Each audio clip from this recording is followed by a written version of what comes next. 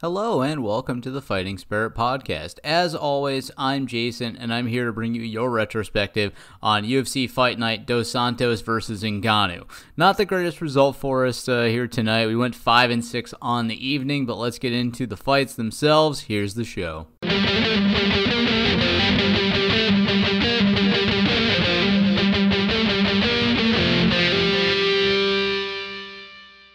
Starting out with our main event, we took an L on this one. So we were not able to correctly predict Junior Dos Santos defeating Francis Ngannou because Ngannou was the one that got it done.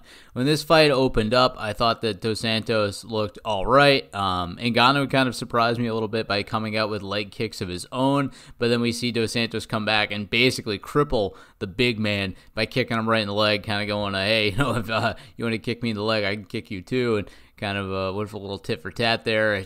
You know, ultimately though, what ended up happening is, you know, Junior Dos Santos, I think he felt like he needed big power shots to hang with Ngannou, and he way overextends with the right hand, and Ngannou catches him, turns him around, punches him from behind. Uh, in, fact, in that overextension, he got him right behind the ear as he was coming with an overhand right and uh, he gets him on the ground. A little bit of ground and pound. Ref calls it, or, or eh, not early. I mean, it, it, was just quick into the round and uh, and ends up getting it done. So I mean, hey, could Junior beat him? Who knows? Those legs kicks, those leg kicks from Dos Santos did look pretty devastating against Ngannou because he was so heavy on his foot. But ultimately, Dos Santos makes a critical error with that overextension and comes away the loser here tonight. It is what it is. Uh, we got to take an L on that one. In our next bout here, we had Jussier Formiga taking on Joseph Benavidez in what was a great flyweight matchup. Somebody phoned Dana White because Benavidez deserves that 125 title shot, assuming they even want to keep the division going. He looked amazing here last night. Um, there was really nothing Formiga did that looked scary. Benavidez was so just scramble heavy every time this thing got to the ground. Formiga was not able to impose any element of control, and Benavidez looked much better on his feet. He was able to hang with Formiga on the ground. In fact, every time they got into an exchange, it seemed like Benavidez got up and into Formiga's guard, which, you know, hey, maybe Formiga is comfortable in guard, but Benavidez was playing off him really well. He was able to get back to his feet. He was able to drop shots in and posture up in that guard, and he just looked, like I said, better overall. Uh, so we were happy to call that one. We did get this one correct. In our next fight, we had Demian Maia defeating Anthony Rocco Martin. So in this fight, I had predicted Maia, and that is how things played out. Uh, I thought Maia won the first two rounds pretty handily, but there was really a bad call by the referee. Uh, he, you know, he made a, a weird stand-up decision. I think he he uh, kind of led into or let the crowd decide what what wanted to happen there. And Maia uh, was taken out of his element, even though he had worked to that position, and he was pounding him against the cage. Uh, just you know, I guess uh, the booze could not be overcome by the ref, and uh, he ended up, like I said, just giving in. Otherwise, Rocco actually looked okay, especially if we get into that third round. In the third round, I thought that it was Martin's all day. I thought that he was dicing up Maia on the feet, and Maia really had no other takedowns to offer. I don't know if he got hurt there. I don't know what happened, but Maia just was not really going and lunging in to get this man to the ground. And when Martin kept it standing, he had the advantage all day, like we thought he did. It's just that Maia won those first two rounds and showed why why he's probably the best Brazilian Jiu Jitsu practitioner in the UFC. So ultimately, we did get this one right, though, with Maia picking up the W. In our next bout, we had Roosevelt Roberts picking up an L here, his first loss of his career, and a loss for us on the night against Vinc Pichel.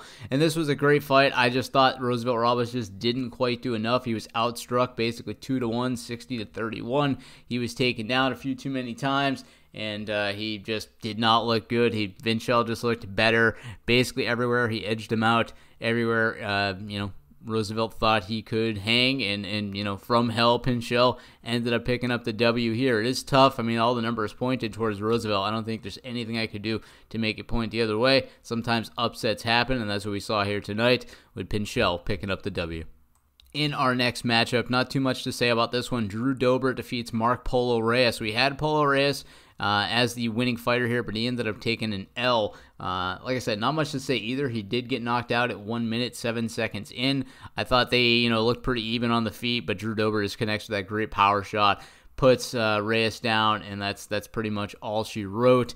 Uh, with him picking up the W. He's on a great tear right now for this lightweight division. It'll be interesting to see who Dober gets matched up with next.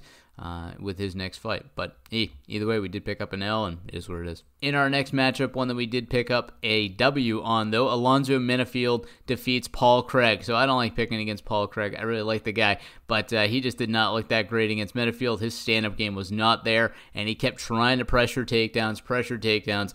And what ended up happening was Alonzo basically caught him while he was, uh, I think, coming in and a little bit of ground and pound knocked him out uh, on his back on the ground, and uh, Alonzo ends up picking up the W. Great fight, just a murderous puncher. Be interesting to see who he faces next, and I do hope Paul Craig can get back in there and practice some of his grappling techniques and against his next challenger.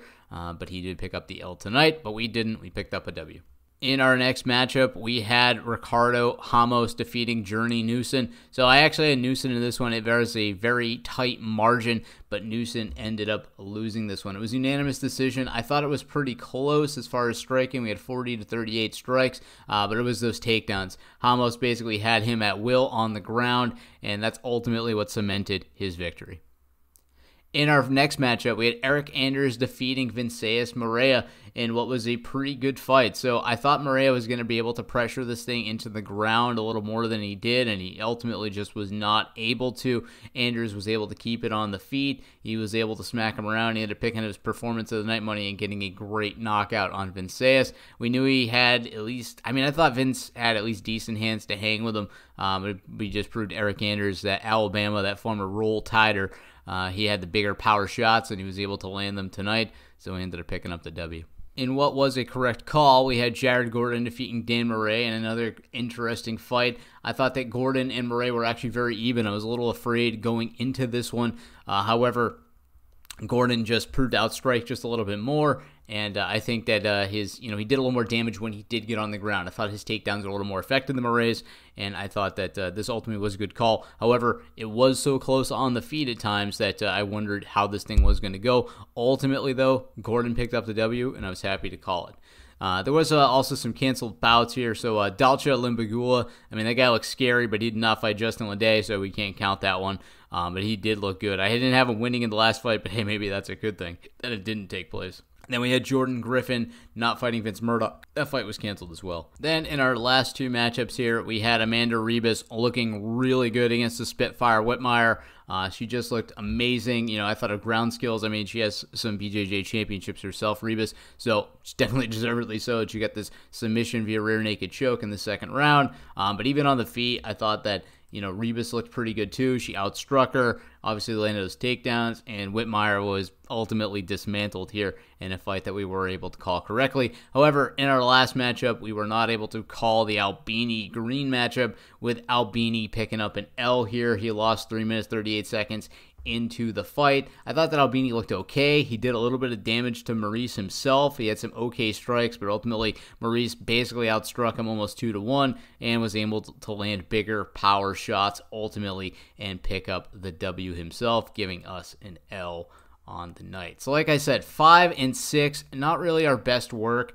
Um, I've been redoing this metric over and over again and, and kind of trying to come up with different stuff and um, I don't know. I think we're we're just kind kind of a bad streak at the moment. You know, we haven't really performed to those same levels that we were doing a few weeks back, and I'm not really sure what happened. I keep trying to find solutions to the problem, and they're they're just not speaking to me. So.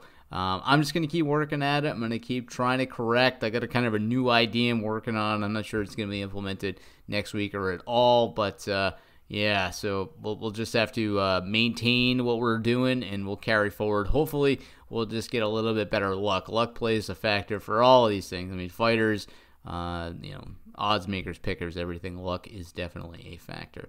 All right, let's talk to. Actually, we have a mailbag. Let's get to the mailbag. All right, so Eric writes to us Hi, Jay. Ngannou seems to be an anomaly. He has incredible power and seems like if he can touch you, that he can transport you to the next dimension. Uh, no, I'm not, I'm not doubting what you're saying there at all. That being said, have you seen a trend in a competitor's ability to upset the odds? Do you think that would be a potential metric that you could provide and affect your algorithm? Just some shower thoughts. Yours truly and deeply a loyal fan. Well, thank you very much for writing in. I always do appreciate that. Actually, like the mailbag is portion of the show probably the most. It's just, uh, you know, just don't really have too many people writing in. So, hey, if you are listening to this, please write in. It's like happy as most favorite part about this whole thing. Anyways, um, to answer your question, no, I, I haven't actually seen any kind of trend like that. It's probable that I'm just not capturing it. I, I actually haven't been capturing. Um, well, I mean, it's in here. I just haven't looked at it specifically. You know, when a guy defies the odds versus when a favorite wins. Uh, we do know that uh, favorites usually do win. I think if you actually just go ahead and pick favorites, you'll end up getting it right most of the time. Uh, but uh, you know, it's getting those upsets that are the hardest, and uh, you know, like last night. I mean, Ngannou I think was the favorite. Yeah, he was the favorite. He wasn't an upset or anything like that. I mean, he, the numbers don't always point to him. It's just that he gets his work done in such a quick, short time. He doesn't build up great stats. Uh, I think is actually what the problem is. You know, you know he, he, doesn't land any takedowns, so I can't use any kind of grappling metric for him. He has a lot of power, but so do a lot of other heavyweights. So it, the numbers seem to blur uh, for him against a lot of guys. You know, he, he might be a crazy outlier, but um, I don't have like a, a crazy outlier metric I can provide to everyone that would make sense. So I don't know. I'm not sure that's an answer to your question. Um, but yeah, I, I, the information's in here. I just don't actively track it. I guess is the best way to put it. Um, when I look at that. Otherwise, yeah, keep writing in. Uh, I do love answering questions. Like I said, it's my favorite aspect of the show. It just happens. Maybe I like it because it doesn't happen that much. I don't know. Anyways, uh, let's go to uh, housekeeping here. So you can get in touch with the Fighting Spirit Podcast just like Eric did here today at Fighting Spirit Podcast at gmail.com. You also can get in touch with me on Twitter. I've been posting there a little bit more. Um, so at MMA Fight Picks 01 is my handle there. You're also on Facebook, so you can get in touch with the Fighting Spirit Podcast on Facebook. There's also an Instagram page. Um, eh, I mean, I've been posting to it a little bit more recently, but uh, since a lot of it, you know, obviously has to do with pictures and stuff, I don't actually have a whole lot to post there. Mostly Twitter and Facebook because they're text based, but there's been a little bit of stuff to Instagram the last couple of days. Um, especially last night, I, I, did a I did a whole kind of thing. If you start on uh, Facebook, sorry, if you start on Twitter, it's also on Instagram. So go look me up if you wonder what I'm talking about. Yeah. So, anyways, let's uh, let's just wrap this up here. I will be back, of course, on Tuesday with your fight picks for the big one: Jon Jones taking on Thiago Santos in what should be an interesting fight uh, for sure. We know Thiago has that great knockout power, but Jon Jones, I mean, I'll just say it now, you know, he has all the numbers in his favor. You know, anything crunch with Jon Jones in it, I think it's always going to point towards Jon Jones. And the only way somebody's going to beat him is that just kind of puncher's chance, like we saw Gustafsson do to him way back in the day. But I will be back with all of those UFC 239 predictions on Tuesday. Uh, absence of Jon Jones, who was revealed here right now. But you guys kind of knew that, right? I mean, does anybody think that Jon Jones is going to lose, right? Pico Jones, it just ain't happening, right? Maybe it will happen. Maybe that's why it will happen. Nobody thinks it will. I don't know. Anyways, there's the uh, the Thiago Santos is a great uh, underdog actually. If you want to put money on this thing, he's like a plus six hundred or four hundred or some, something like that. In fact, I think Jones is a minus six hundred. Uh, and uh, Santos is a plus 400. So 4 to 1 payout. Not too bad if you want to throw potentially some money away, but there's good odds on it. I'm rambling though. Anyways, I will talk to you again soon. Until then, happy fight picking.